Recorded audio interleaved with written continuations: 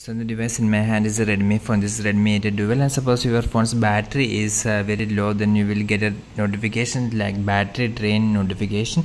And suppose if you wish to turn it off you must uh, simply go to the settings. And from the settings you can see click this battery here.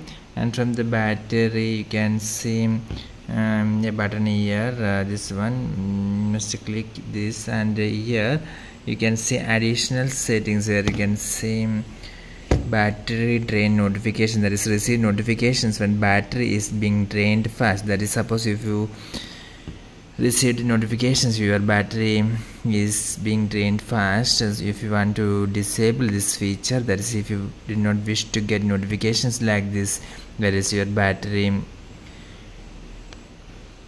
is going to empty soon. So if you want to disable this notification you must simply turn it off like this. If you do like that you will not receive any battery drain notifications in your redmi phone.